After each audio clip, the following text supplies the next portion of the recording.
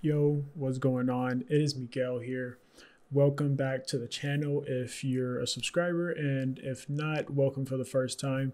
Uh, on this channel, I like to talk about all things business, self development related, all sorts of things like that. And today I'm going to be talking about something much more business related. You're going to see a lot of the content uh, after from this video and on be a lot more business focused because that is what I'm going to be diving into again, research wise, where, where I'm like, just going through a lot of old books about business, copywriting, all that stuff. Um, so naturally, all of my content is just going to start to look like that. Hopefully, that's exciting. So, in this first video, I'm going to be talking about the easiest way to get better at copywriting.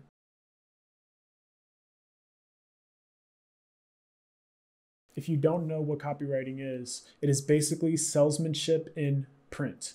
I anytime you see any sort of words online, anytime you see uh, any any sort of sales page, any website where anything is being sold, all of the words that are on that website is considered copy. So naturally, you can imagine that is a pretty useful skill to have and it's pretty much in demand at all times because it's used everywhere which is a very good thing but also mean it also means that there is a lot of competition. So, the best way to outdo your competition, uh, at least the way that it's worked for me and the way I see it working for everyone else, and what I've gotten from my mentors, the best way to outdo your entire competition is by getting better, honing your skill set. So, that is what you're going to be doing in order to become a beast at copywriting. And the easiest way to do that is by writing more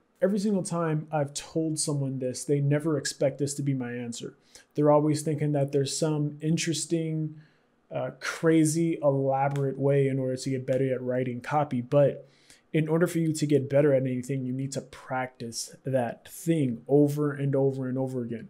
When I played football, it wasn't like we weren't running about a million plays. That might be the the perception if you've never played a sport or any sport like football. I'm not sure how much other sports work which is the the point exactly. The the way you get better at any sort of like football thing is you you we ran the same plays over and over and over and over again. The same ones over. We ran the same defenses over and over and over again. We practiced on the same drills how to tackle day after day after day after day and that is how someone gets better at a sport.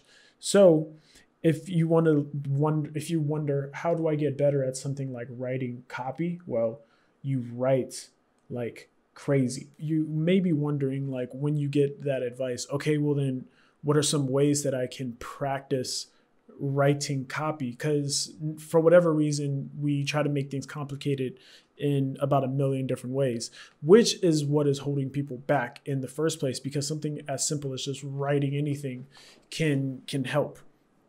But if you are still unsure and you don't want to make and I want to do what I can to make sure that this isn't an excuse for you because one because once this excuse is off the table, then you can actually start doing what is important and start building this skill. So there are a couple of ways that you can practice writing copy.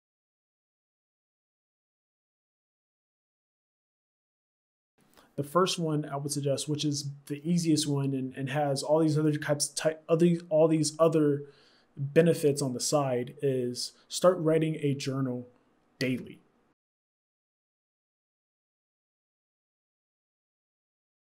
When I say daily, obviously mean the days that you can actually uh, fit it in, which should be most most nights. So I write mine right before bed because I feel like it declutters my brain and then I get to sleep.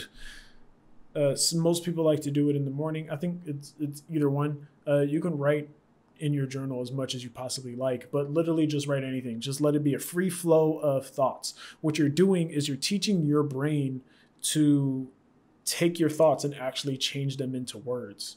So if you're constantly doing that like over and over and over and over again, then naturally you're going to start get get better at that because neural pathways start to uh, work in some sort of scientific way.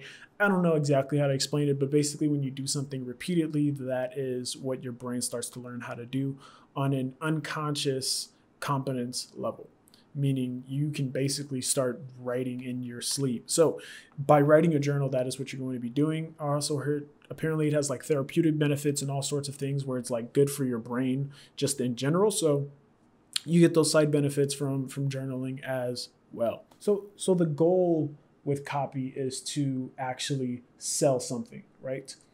So, yes, journaling is going to help with actually writing, but we also need to get better at selling something, selling anything. So, the next thing you can do practically to get better at copy is to pretend that you are the email marketer of some company and to start writing daily emails for them.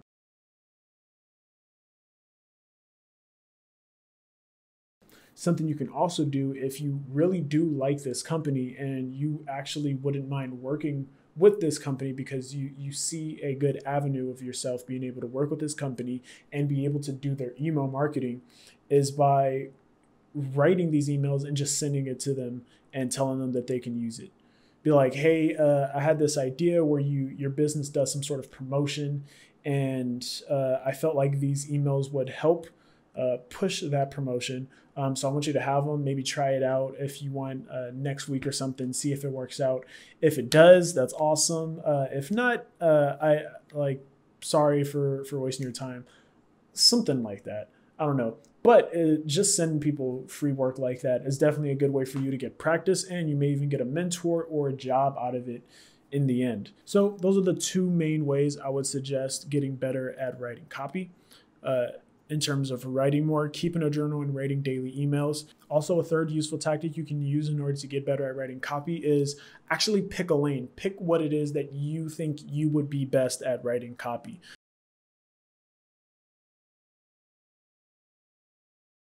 Wherever that lane may be, whether it be writing copy for product descriptions, uh, for people's stores where they sell physical products, is it sales pages, is it ads, is it writing copy for influencers caption or something? Whatever it is, email marketing, whatever it is.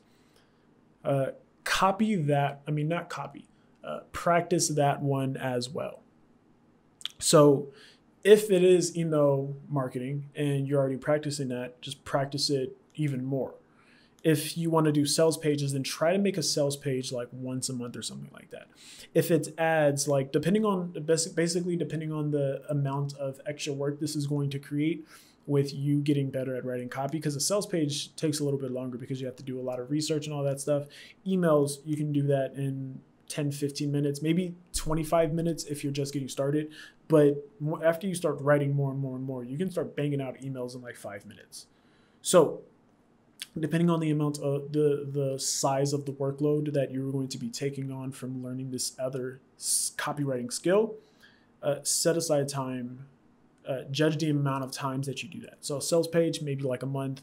Facebook ads maybe like three actually you can do that daily honestly uh, just writing up an ad real quick, at least one, yeah, you would get very good at writing ads. If you start, if you literally wrote one ad a day about anything you could possibly imagine, you would be amazing at writing ads. So that's it, guys. Naturally, with a video like this, uh, I'm going to get the question, what are your favorite copywriting books and all that stuff. Uh, I'm going to make a video on that topic next week. Uh, so expect that. Also, I'm only going to be making one video a week because I want to try and make these video much vid- because I want to try and make these videos much more valuable and much more entertaining and put a lot more effort into it. Uh, and in order to do that, I need to actually reduce the amount of videos that I upload, but put more of that time that I would have used to make two videos into one video. And I'm going to see how that turns out. Uh, and if it's better for the channel and better for, for you guys because you're actually uh, you're getting a much more like paced out Miguel. Also, I am in my office. I hope you like the new setup. Let me know if you do. Let me know if you like the way this video was done in comparison to the other videos that I've made, which should be a drastic difference. Uh, and oh yeah, I cut my hair. So That's also a thing. Anyways, thanks for watching. Like, comment, subscribe, all that, and see you next week. Peace out.